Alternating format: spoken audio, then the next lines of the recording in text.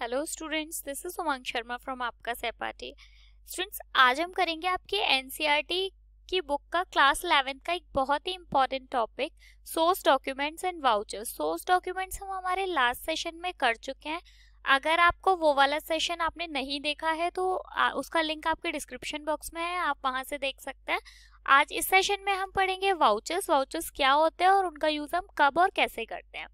अगर स्टार्ट करने से पहले आपने कॉपी पेन नहीं लिया है तो आप कॉपी पेन ले लो और साथ के साथ नोट करते रहो।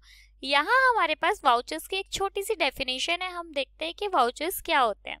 A voucher is a document, evidence, a transaction, accounting voucher, may be classified as cash voucher, debit voucher, credit voucher, journal voucher etcetera vouchers क्या होते हैं? वाउचर्स एक एविडेंस होता है, एक प्रूफ होता है, एक रिटर्न प्रूफ होता है।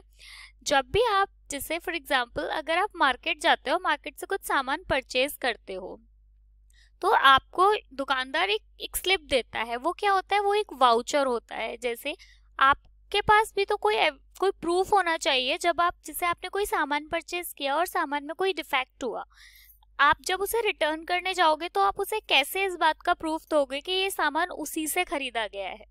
उसके लिए जो भी, जो प्रूफ होता है, जो आपको जब आप सामान परचेज करते हो तो दुकानदार आपको देता है, उसको हम बोलते हैं वाउचर्स वाउचर्स के बहुत सारे टाइप यहाँ पे हैं आपके, हमारे पास. कैश वाउचर है डेबिट वाउचर है क्रेडिट वाउचर है जर्नल वाउचर है, और भी बहुत सारे होते हैं जिनको हम एक एक करके पढ़ेंगे. सेकेंड वाउचर का एक कोई फिक्स फॉर्मेट नहीं होता। वाउचर की जो भी जो भी एंट्रीज होती हैं, वो अपने अकॉर्डिंग कम या ज़्यादा की जा सकती हैं। अब देखते हैं वाउचर्स कितने टाइप के होते हैं। वाउचर्स के वैसे टू टाइप मेन टाइप्स की अगर बात करें तो टू टाइप्स होते हैं, जिसमें एक होता है सोर्स वाउचर और सेकंड वाला होता है अकाउंटिंग वाउचर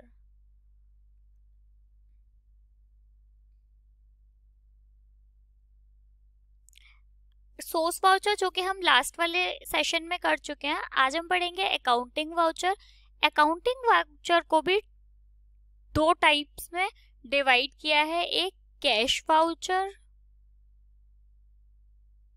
और एक non cash voucher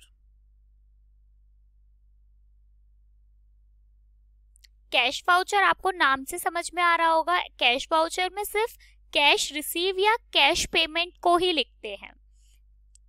और नॉन कैश वाउचर के अंदर आते हैं डेबिट नोट, क्रेडिट नोट और जर्नल वाउचर्स, इस तरीके के वाउचर्स हमारे किसमें आते हैं? नॉन कैश वाउचर में। अच्छा जब हम, जब भी कोई अकाउंटेंट सोर्स डॉक्यूमेंट को एनालाइज करके सोर्स डॉक्यूमेंट को जब कोई अकाउंटेंट अच्छे से एनालाइज कर लेता है, जब ये पता कर लेता है कि हमारा कौन सा वाउचर किस साइड में जाएगा मतलब कहने का मतलब यह है कि कौन सा अकाउंट हमारा डेबिट होगा और कौन सा अकाउंट क्रेडिट होगा तो ये लिखना क्रेडिट उसे अकाउंटिंग वाउचर कहते हैं। समझ में आया? सोर्स वाउचर को अच्छे से एनालाइज करने के बाद कौन सा जो हमारा अकाउंट है, वो डेबिट होगा, कौन सा क्रेडिट होगा, ये किसमें पता करते हैं हम? ये पता करते हैं अकाउंटिंग वाउचर में।